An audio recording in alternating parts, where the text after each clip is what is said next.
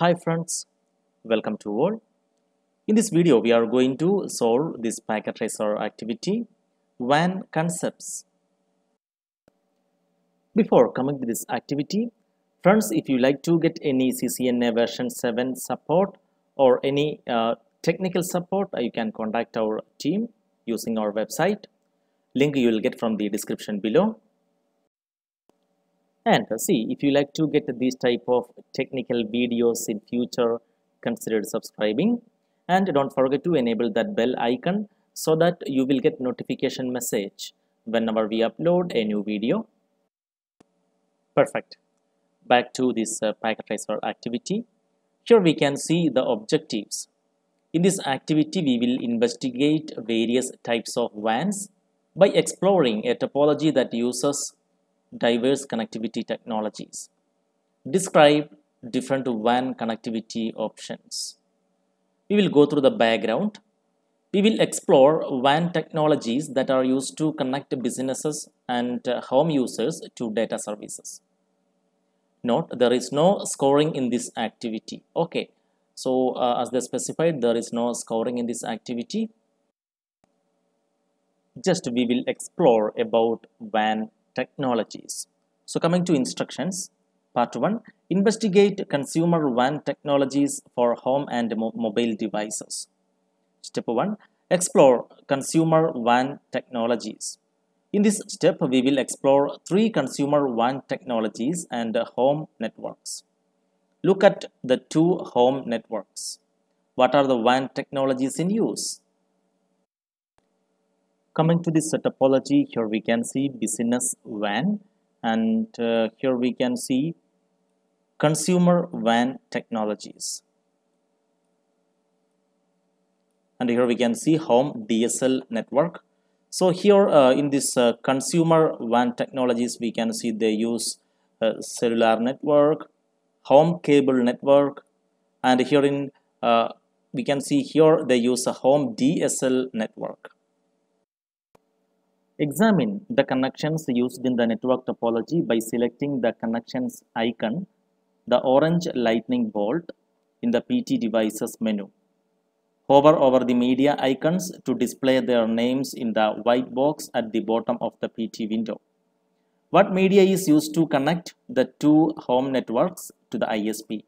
What devices in the home networks are directly connected to the ISP?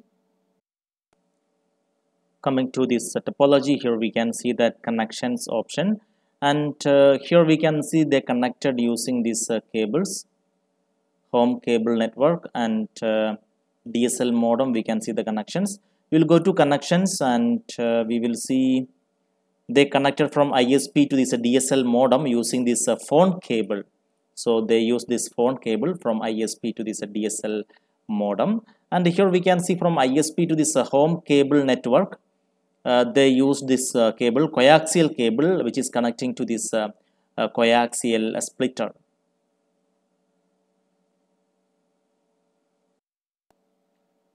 And actually this smartphone is connected to this uh, cell tower and cell tower and ISP is connected using this coaxial again. Perfect.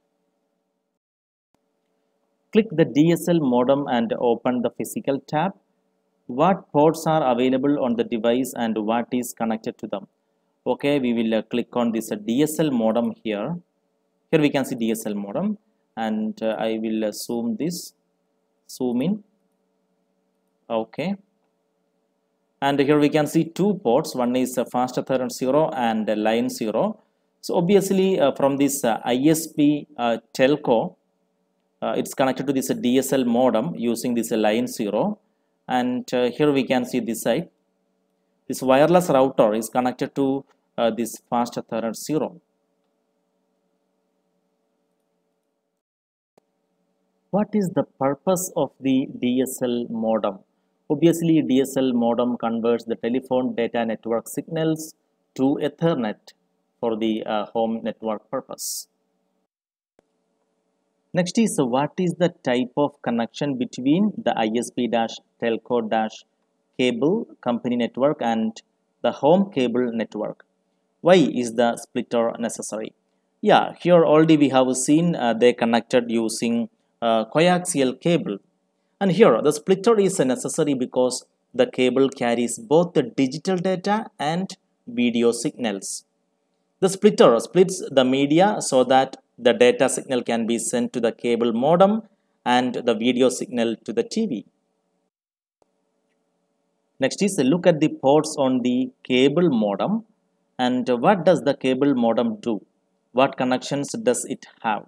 So coming to our topology here we can see our cable modem. We will click on it and here we can see its port. Let me zoom in and here we can see two ports one is coaxial and one is fast ethernet 0 so this coaxial um, port will connect to this uh, coaxial splitter. And here we can see uh, fast ethernet 0 which is connecting to uh, this wireless router. And here this cable modem converts the cable data signals to ethernet signals. Here next is which port does the cable from the cable modem connect to on the home wireless router? Where did the interface IP address come from? So coming to this wireless router, we can see it got an uh, internet port here. So from this uh, cable modem, uh, this uh, cable, I mean this UTP cable will be connected to this uh, uh, internet port. And obviously this wireless router will receive its IP address uh, using DHCP uh, from the ISP. Okay, next is uh, look at the smartphone. Yeah, here we can see our smartphone which is connected to this cell tower. What is its IP address and where did the IP address come from? okay let me go to smartphone so that we will get its IP address we will go to desktop and uh, command prompt here we can give the command ipconfig slash all but here we cannot see any IP address. Let me go to IP configuration and uh, this field is empty. The given static actually should uh, get from DHCP and uh, let me give this a DHCP here. We can see the smartphone is connected to cell tower and obviously the smartphone will get its IP address from this uh, ISP bar telco. So actually we are not getting the IP address here and we can see it says DHCP request failed. Okay. Yeah, here for the smartphone I am not getting any IP address. Uh, so whatever address you get uh, please comment uh, in the comment box or if you are facing the same problem uh, please comment below. What data service is the cell phone currently using? Cellular, data or Wi-Fi? So we can see here itself they specified a cellular network. So obviously it's a cellular data like uh, 3G, 4G, now 5G is uh, ready, right? Now coming to step 2, explore the business WAN. So coming to topology here we can see this uh, business WAN in this step, we will explore the business WAN. The business is a retail tire store. It has a local headquarters where most of the business functions occur and three stores that are connected to the business WAN. Look at the connections menu. What different types of connections do you see in use in the business network? Here we can see from ISP bar telco they connected using serial. And also we can see they used uh, copper and uh, here we can see they used fiber. Next is open the physical view for the storenet switch. What types of interfaces are present?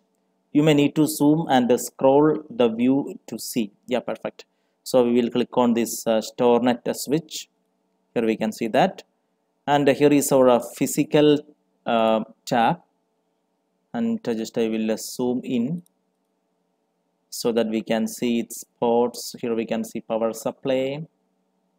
Okay. And uh, we have this port but it's not highlighting. Yeah here we can see something. C3650 built-in yeah. And here we have a GLC dash LH dash LH-SMT okay. And this is a GLC dash T. So here we can see that GLC dash T. Uh, the 1000 base dash T. SFP operates on a standard category 5 unshielded twisted pair copper cabling of uh, link lengths up to 100 meter. And uh, here we have seen this uh, GLC dash LH dash SMD the 1000 base LX dash LH SFP operates in uh, gigabit Ethernet ports of Cisco Industrial Ethernet and uh, uh, smart grid switches and routers. Yeah. Perfect. So this we have seen glct yeah this already we told. Okay which interfaces and media are used to connect the store networks to the business headquarters network why was this done so here we can see these uh, local networks which is connected to this uh, store net and uh, we can see the stores are connected to the store net switch with the Ethernet over fiber optics cables, right? So we can see this cable here. Uh, this was done because of the distance required to reach the stores. In reality, another provider would provide this uh, fiber optic service, but this has been uh, simplified for the purposes of this activity. Okay? And obviously you can guess when we have more distance between these local networks and StoreNet uh, we cannot go with Ethernet. We have to go with Ethernet over fiber.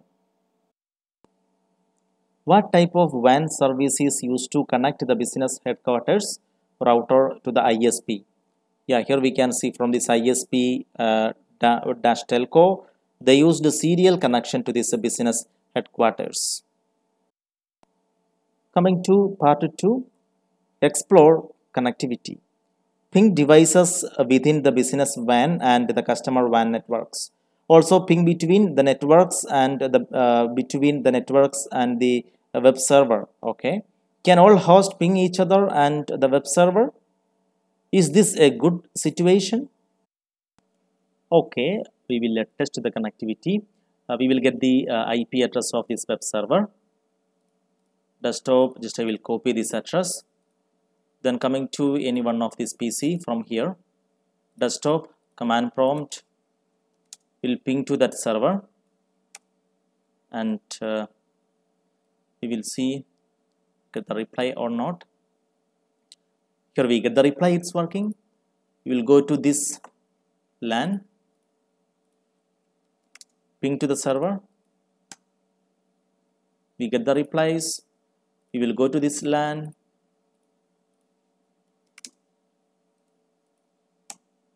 We get the replies. Now we will uh, ping from this PC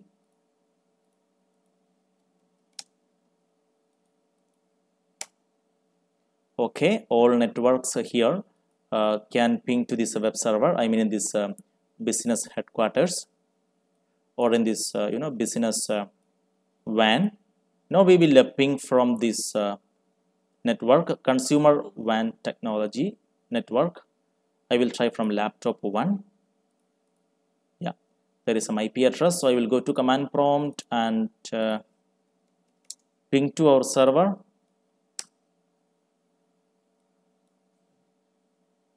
We are waiting for the reply. Yes, be able to ping even we can try from uh, TV or laptop to yeah IP address there. Command prompt we will uh, ping to that server.